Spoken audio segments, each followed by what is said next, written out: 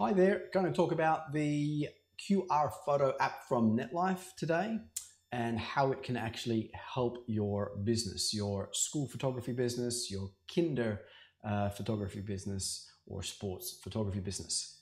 So, um, what we're going to go into is the actual um, app, but it's actually not an app, it's a URL. So, which is your domain forward slash QR photo. So for current NetLife users, you simply go to your domain forward slash QR photo on your phone or tablet or whatever you're going to use.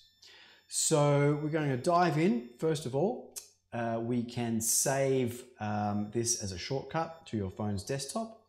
And we see that there needs to be a username and a password.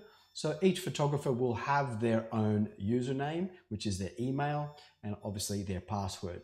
So let's bypass that for the second, go straight into my username. Now, as we can see, it tells me the jobs that are there for me for the photographer. So at the moment, QR photo demo, that's uh, the job that we're doing today.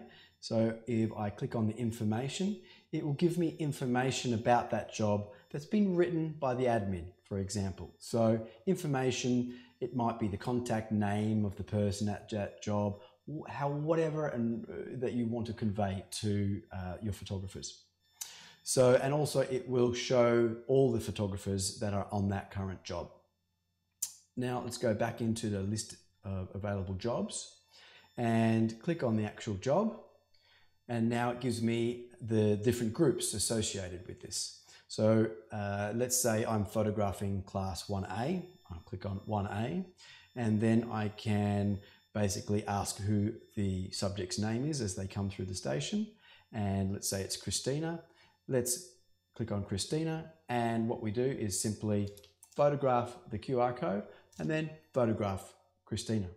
So what this does, it actually does a data match between the subject data and the images that are taken of Christine. So another feature here, um, maybe Christina, uh, her name is actually isn't Christina. Maybe it is uh, actually just uh, Christine. So the photographer can, on the fly can actually just edit that as I just did. The other thing that uh, happens pretty much daily of each job is that you'll find subjects will go or be in uh, different groups. So in this case, Christina is in 1A. And so maybe she got swapped over at the start of the year to 2B. So the photographer will pretty much learn that on site and go, okay, well, she's not in 1A. We click on 2B, we're good to go. Update subject. Okay, and now she's in 2B. So let's go to the next child subject that we're going to photograph. Um, let's say Sophia. Here's Sophia's QR code. Photograph the QR code, photograph Sophia.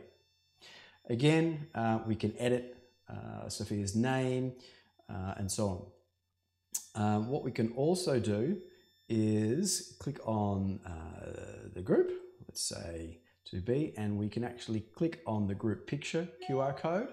And so we can actually uh, photograph the group QR code and then photograph the group if you're doing a traditional photograph of the group. Okay, you can select, take multiple shots if you like. Um, some other features here, you can see on the bottom right hand side there is a, a plus button. So from time to time there will be subjects that aren't on your data sheet or list and so you need to add a subject in on the fly. So with this we can click on the plus and add a subject. Joe Bloggs. Oops, helps if I actually spell blogs correctly and again and create subject. And then we have Joe Bloggs' QR code. And now we can photograph the QR code and then photograph Joe Bloggs.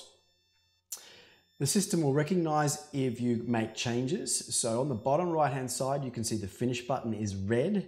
So at the end of the day, we want to update the portal with all the changes that I've done as a photographer. So I click on finish and finish job. And now it will update the portal and all of those changes will go to the portal. Um, hopefully you've enjoyed this uh, little uh, tour of the QR photo app. Remember, it's not just it's not actually an app; it's uh, a URL.